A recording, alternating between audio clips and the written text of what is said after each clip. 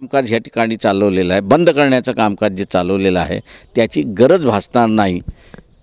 आणि म्हणून आम्ही असणारं मॅनेजमेंट कसं करावं ते ह्या सरकारला कळत नाही समजत नाही उमजत नाही. किंवा पंढरपूरचे बाय इलेक्शन आहे.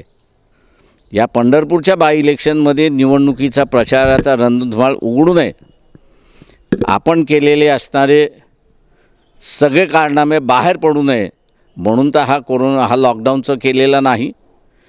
हा प्रश्न पंढरपूरमध्ये अनेक जणं विचारता आहेत. पंढरपूर शहर हे मंदिरावरतीच चालतं. आणि आज मंदिराचीच दरवाजे बंद केले असल्यामुळे चाळीस हजार पंढरपूरमध्ये राहणाऱ्या लोकांची उपासमारी शासनाने आणलेली आहे. आज कसं आपलं जीवन जगावं या विवेचनेत ते आहेत. शासनाने लॉकडाऊनच्या संदर्भात पुनर्विचार करावा. आज लोक लॉकडाऊन मान्य करायला तयार नाहीत.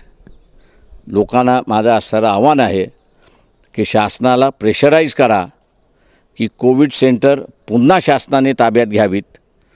प्रायव्हेट संस्थांना दिलेली आहे ती काढून घ्यावीत.